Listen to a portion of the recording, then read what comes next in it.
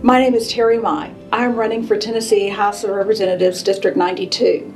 I'm a lifelong Democrat and I'm a survivor of gun violence.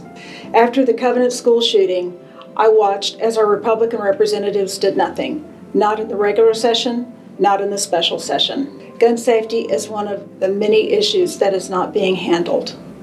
I want to work to make Tennessee a better state, a safer state. In order for me to do this, I need your support. More importantly, I need your vote.